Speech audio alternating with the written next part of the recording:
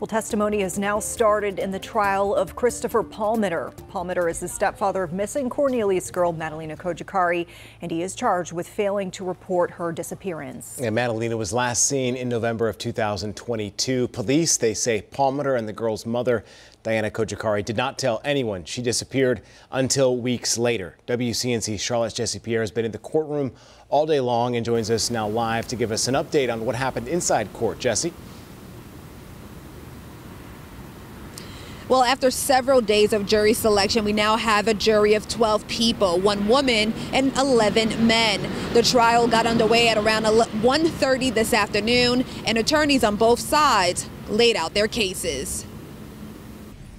From November the 22nd to December the 15th, 23 days went by where he didn't know the location of Madalina Cojocari. And that is what the state's done in this case. The state has made assumptions as to what Chris knew. Introduced myself a number of times, so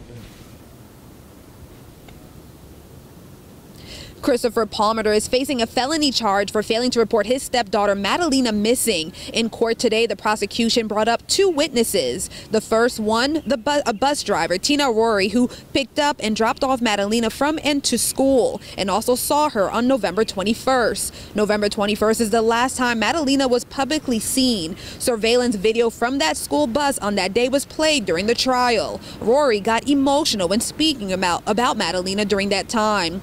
Madalina's guidance counselor Denise Lampkin also called to the stand. She spoke about several attempts to reach both Madalina's parents. She testified that calls and emails were sent to Palmiter and Diana Cojocari, Madalina's mother. Lampkin said in court that after so much missed time, she began to worry.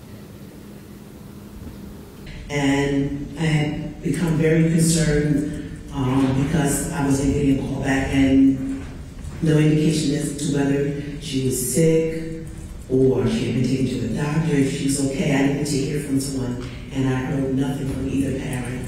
And so um, I wanted to follow procedure and make the home visit.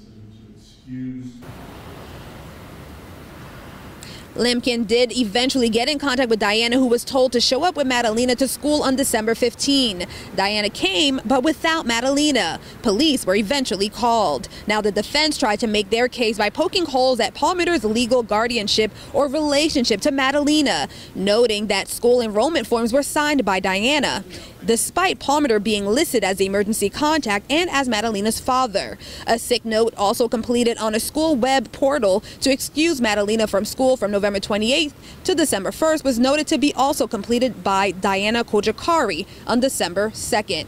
Now, during this trial, we are expected to hear from members of Cornelius Police as well as members of the FBI. Now, the trial reconvenes on Tuesday at 11 a.m. We will be here and we will have your updates as soon as we get them.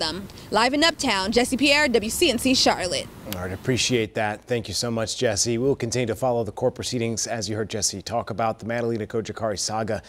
It's been going up and down since the very beginning. You can catch yourself up on the case by scanning the QR code there on the screen. There we have an interactive timeline for you to look at. You can also find it on our website and our mobile app.